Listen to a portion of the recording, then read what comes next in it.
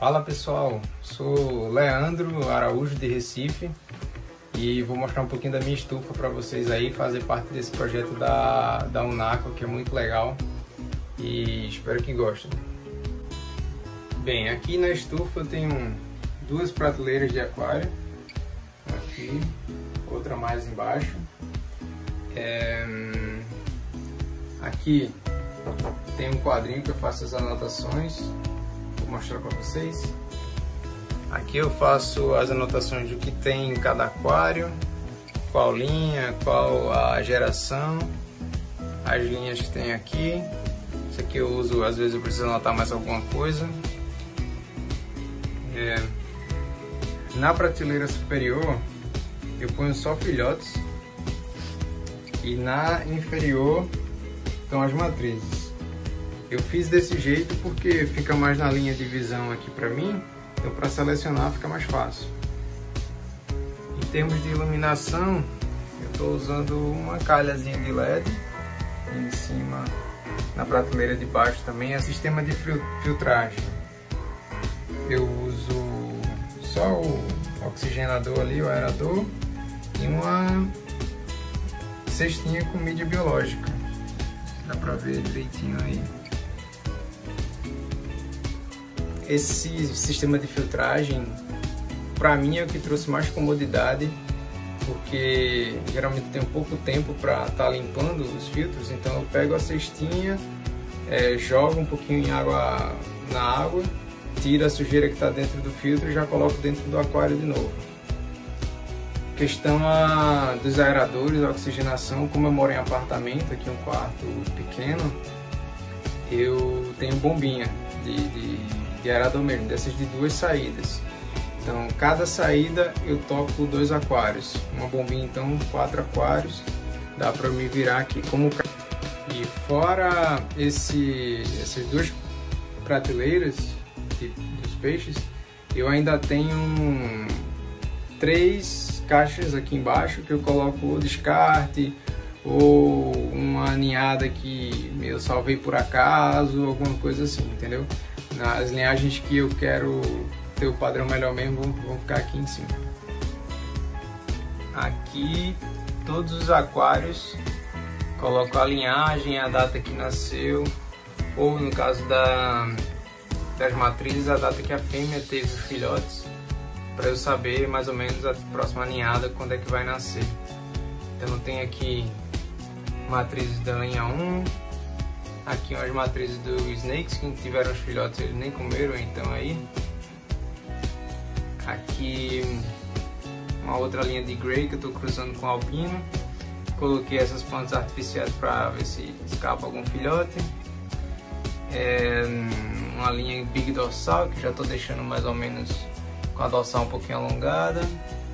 Aqui a, uma linha que veio de um outcross entre a Big Dorsal e a linha 1, a IFGA. É, aqui são alguns peixes que eu deixei para crescimento aqui e vou vender depois, vou dar para os colegas. Ali tem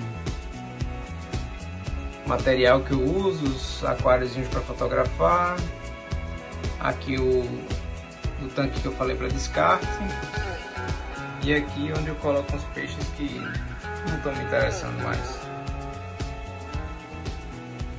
Já aqui, sim, todas as minhas luzes são com timer, então tem timer, tudo direitinho. Aqui sifão, a água para artêmio eu já deixo separada e misturada com o sal.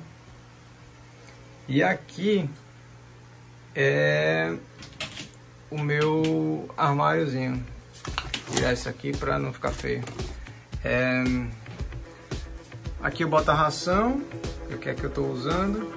Aqui eu, eu, misturo e coloco ele, asta cola, três algas e é o que eu estou usando atualmente.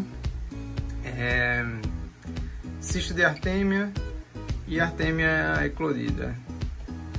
É, lá atrás fica uma caixinha com medicamentos e pedrinha porosa tal, essas coisas aqui, condicionador que eu coloquei no remédio no nariz para facilitar o gotejamento. E é isso. Aqui eu tenho um limpadorzinho magnético.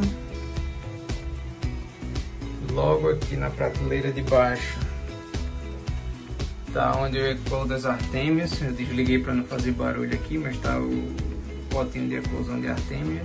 Tenho dois, um lá atrás. Aqui uma visão mais panorâmica, né? Elas tudo completinho.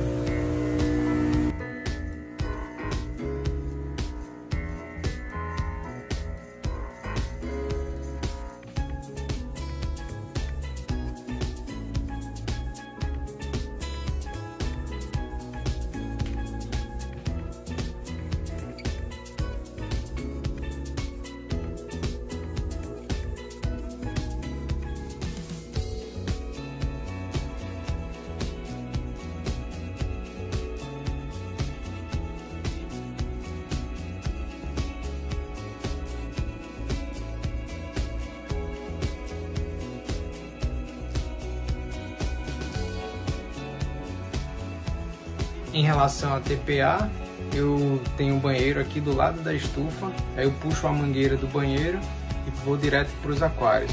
Coloco o condicionador, o anticloro, sai pingando as gotinhas e a água direto da torneira vai para o aquário. Porque aqui o pH não varia muito e a temperatura também não, né? Que é Recife. Então, TPA pequena geralmente 20%, quando eu faço muito, eu faço uns 40%.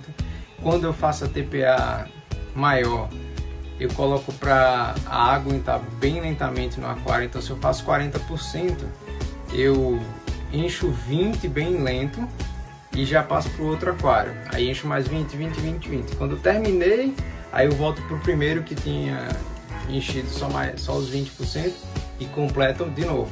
Então eu faço um, é enchimento devagar, mesmo sendo com condicionador para evitar choque e fechamento de cauda, entendeu? Então é isso aí, pessoal. É desse jeito que eu mantenho aqui minha minhas, minha linhagem de full head num espaço pequenininho, é sempre descartando e, e, e mantendo poucas ninhadas de cada de cada matriz porque se a gente for querer salvar tudo, não acaba perdendo o controle da criação. E não é isso que a gente quer, né?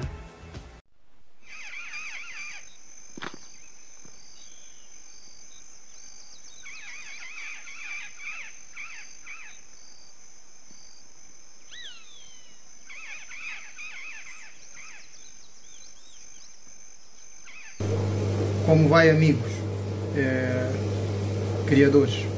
Eu sou Isaías Marrocos, um pequeno criador de guppies uh, de português, Portugal, e estou aqui para apresentar os meus guppies e a minha ficha, modesta ficha 1. Eu espero que vocês gostem e, e até a próxima. Artémia descapsulada e eclodida, sem cascas, pronta para dar aos peixes. Tem ali outra a fazer, que também está pronta. Vou agora colocar água aqui, água limpa, pôr e começar a oferecer aos peixes.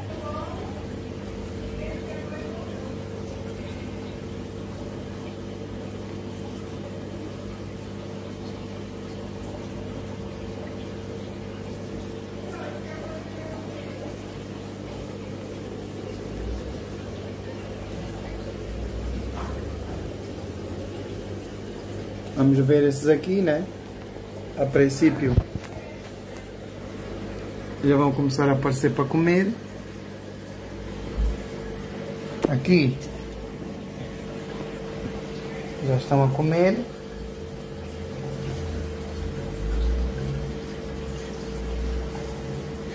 Este é o meu descarte. Lá em cima é que eu tenho os peixes selecionados. Mas aqui tem alguns peixes muito bons que ainda estão a ser selecionados são muito novos Ah, os aqui já começaram a vir para comer. Isto tem um problema para filmar, bate aqui o sol. Uma artemiazinha daquelas boas. Eles adoram.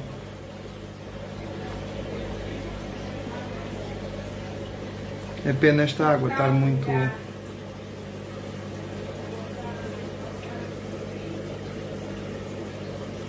Está com uma marca, quer dizer, qualidade, a água é boa, só que tem é. A água é boa, tem é. Tá é verde.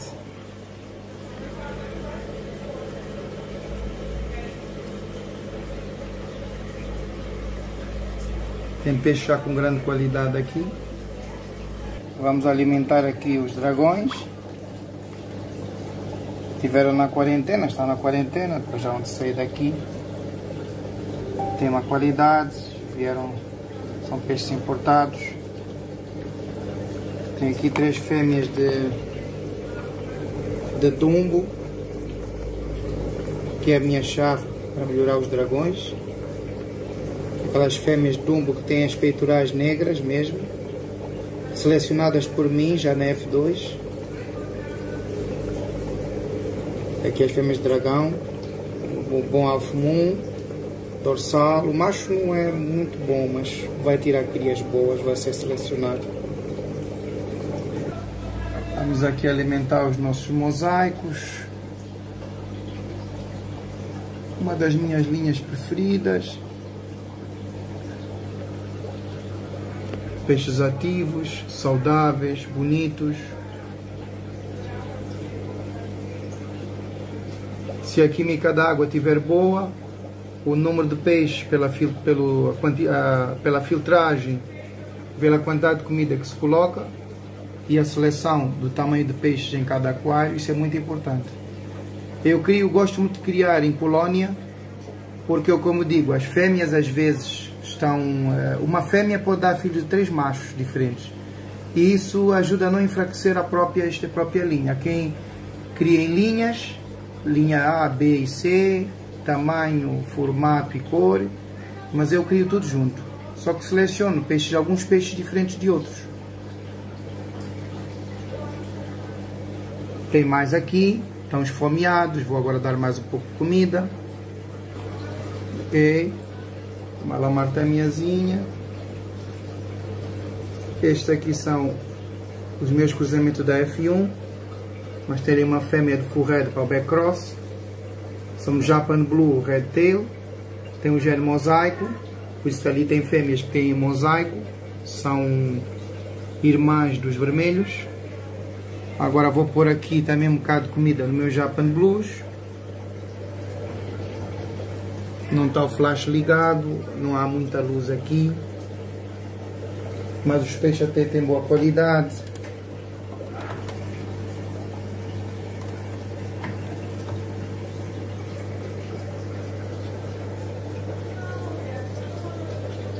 É difícil com uma com coisa fazer uma filmagem muito boa, tá aqui os super deltas, não é? Como vê, tem machos novos lá atrás, são ainda peixes novos.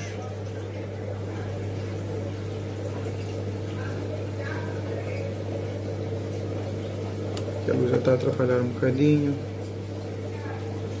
Eles são loucos por Artemia, adoram Artemia. Aqui tem os meus, outro cruzamento do Japan Blue, mas estes já são com os sólidos. Também são peixes novos. Eu aqui alimento muito bem os peixes, o mais importante para evitar as doenças é ter a alimentação e boa água aos peixes, os peixes bem selecionados, para ter aqui para os HBs, Blue Green, também criados aqui por mim ou transformados por mim.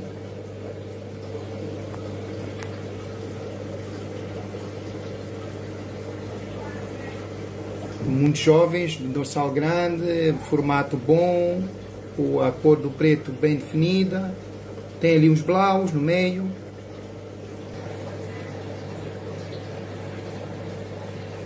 Normalmente alimento os peixes duas vezes ao dia ou três, os mais pequenos alimentos três vezes. Isto é um sistema com oito divisórias. Tem também a sample lá embaixo sistema de filtragem uma parte é livre para pôr o MK1, outra parte tem esponja, cerâmica e lã de vidro. Depois a parte livre com o termostato para, ir o, para subir o, o, a água. Portanto, aqui estes aquários são independentes, são só para criar, para fazer paternidades do sistema maior. Depois tenho lá aquele aquário que está dividido, que a dividória saltou-se, tem que pôr outra. E tem por trás daquela cadeira outro aquário com os dumbos. São os dois aquários com dumbos, não é? E aqui é Japan Blue, Japan Blue mosaico e alguns cruzamentos também. Uma vez que tem divisórias, permite isso. Estes aqui são os Moscous Black, linha asiática, negros, o peixe é mesmo negro, só com muita luz é que se vê um bocadinho da, da azul, mas o peixe é negro, vamos ver aqui. Tem tá aqui meus filhotes, estão aqui neste aparoer, mas é, depois vão ser colocados deste lado, que tem aqui um, duas fêmeas de graça. O macho chegou morto, mas tem são, a linha é muito boa. Aqui embaixo tem um cruzamento do Citru com Dumbo. Dei uns peixes muito bons para uma F1.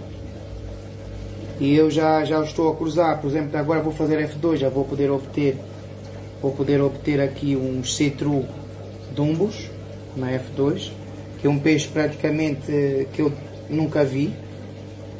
Não é? Para uma F1, para peixes que não tinham barbatanas nenhuma, já tem umas barbatanas bem grandinhas, é um peixe bonito. Ali embaixo foi a desistência dos originais Citru. Isto é um sistema de 3 aquários de 30 litros. Estes estão divididos e o outro do fundo está, está livre. Nascimentos de red. Esta é a mãe deles.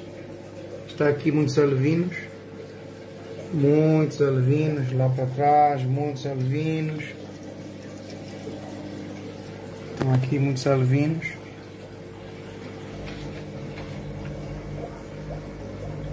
Vamos ter uma grande qualidade. São peixe qualidades. Tem aqui uns chamados que eu chamo de sapura, que não tem um gene tão firme do dumbo, mas eu adoro-os porque eles têm um gene especial. Prefiro poucos peixes do que estar a selecionar muitos. Só qualidade. Eu gosto dos peixes muito bem selecionados. E quando eu seleciono um peixe, eu sei porque que estou a selecionar. E não há nenhum peixe perfeito, eles só são perfeitos. Quer dizer, não há. Só são muito próximos do perfeito quando a gente seleciona quando nós selecionamos. Tem ali também muitos por selecionar. Disse há pouco que era, que era o meu descarte, deve ter uns cento e tal peixes aqui. Né? Bocado assustados, mas é normal. As águas é que não ajudam muito aqui. O meu quarto da piranha, que ela adora guppies. Este aqui é um aquário de 74 litros onde tem uma divisória, onde tem aqui machos, fêmeas deste lado e machos deste. A água está um bocado verde. Isto aqui tem Japan Blues, Sky Blues, uh, Moscou Fá e uns Moscous Bronzes. Também tem uns Blonde Leopardo e aqui é a mesma coisa, fêmeas e machos. Em cobras jovens. Chama ele, não sei o que. 2, 7, 3. Eu também uma chamada, tá vendo? Quero ter mais três vezes. Furredes. Jovens furredes. High dorsal. Tem aqui umas de dumbo. Aqui tem os cruzamentos de dumbo com furred jovens ainda a crescerem, a desenvolverem. Tem aqui o macho no fundo. São peixes jovens. Forredes adultos. High dorsal. Fêmeas grandes, peixes parrudos. alvinos de forrete, mais alvinos aqui embaixo, tem ali mais alvinos de, de cruzamentos, forredes,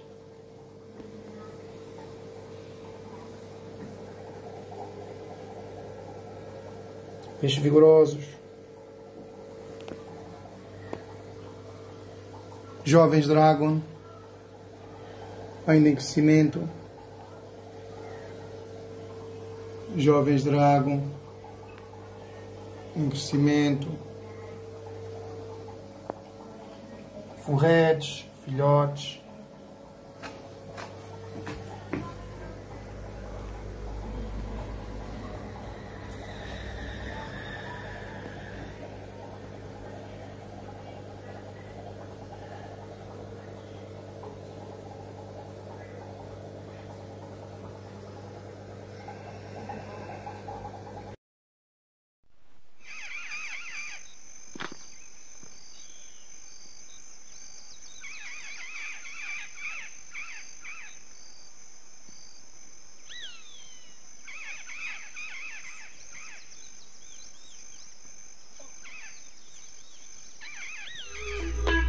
pessoal, me chamo Thiago, sou aqui de Brasília. Eu crio basicamente moscous. É, iniciei já tem uns seis anos, sempre trabalhei com moscou. Me aventurei em outras linhagens, mas não deram muito certo não. Vou estar mostrando um pouco da minha criação, dos peixes em si, um pouco da filtragem. Não é muita coisa não, é coisa simples. Aí pessoal, isso daqui é meu sistema de filtragem que eu uso, deixei esses aquários aqui limpo para estar mostrando. É, basicamente é filtro de placa, né?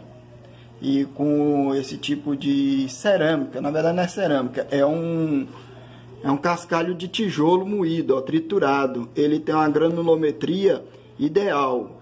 É, diferente do cascalho de rio, esse daqui ele serve como mídia filtrante. Tem um pouquinho de cascalho de rio para dar mais uma aeração aqui, mas aqui é como se fosse uma mídia filtrante. Tem ele já para vender em saco já, em loja especializada esse sistema aqui segura bem o aquário. Deu muito certo. Outros criadores aqui também fizeram a experiência e deu muito certo mesmo. Esses aqui são Moscow Blue e Moscow Purple. Essa é a linhagem do Silvio.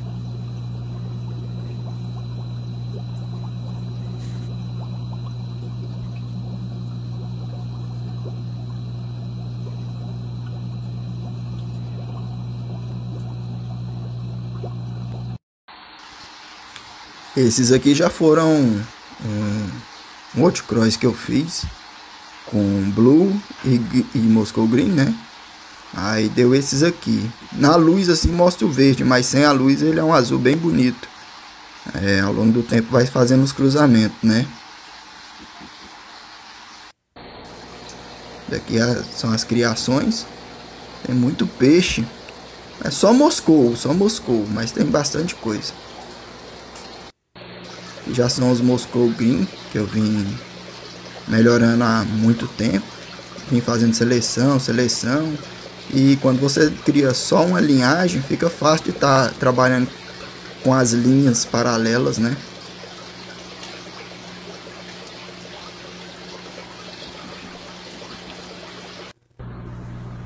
Uma fêmea aí muito bonita que eu escolhi.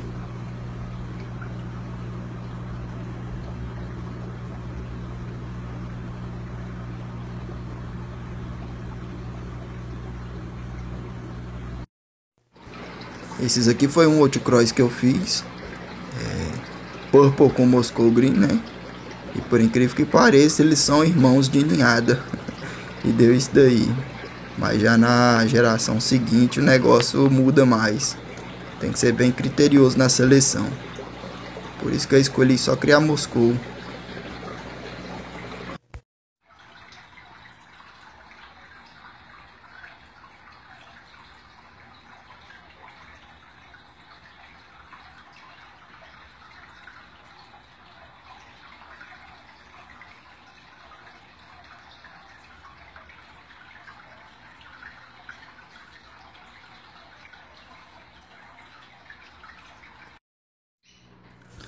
Esse daqui é um aquário que eu deixo para crescer machos. É todo pelado. E eu faço a limpeza do fundo constantemente, porque o macho tende a pesar, né, e encostar no fundo, aí eu evito muita bactéria.